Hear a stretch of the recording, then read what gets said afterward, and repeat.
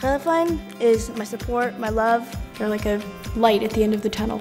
Chai Lifeline has always been there. Whenever we need them, They help with everything, and they help with everything for everybody. It's very, very helpful. It changed my whole life. I love having Chai Lifeline. They're just really big like supporters. They have people who come and make tough times fun. I'm not ever alone because they're just constantly supporting me.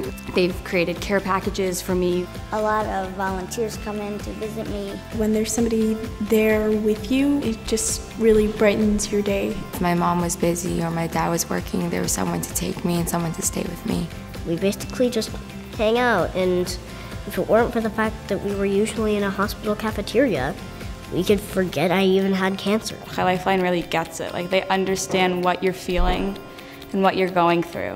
You know that's they're your family, and it's not just your family, it's your Chai Lifeline family. They gave me a big sister who I became extremely, extremely close with. I had like seven Chai Lifeline big sisters that took me out like every day of the week. They would take my siblings out to do things. They were there for my parents when my parents needed their support. They have parent events and just like sibling events. All the events that happened, it just like literally blows my mind. They have a thing called the Shabbaton. You get a lot of candy there. I went on two Shabbatons. Everyone's there, everyone has a challenge, everyone has a disability that like you don't feel different. I love to be around other people who have the same things as me. Then I just like get like a lot of energy. Camp has always been there. It's always been something that I've always looked forward to. I count down like the days until I could come back to camp. It's an amazing place. There's just so much energy. It's mind-boggling. What I love about camp is everything. Without Chai Life Lifeline, I would have had a much harder time dealing with everything, and they really mean a lot to my life.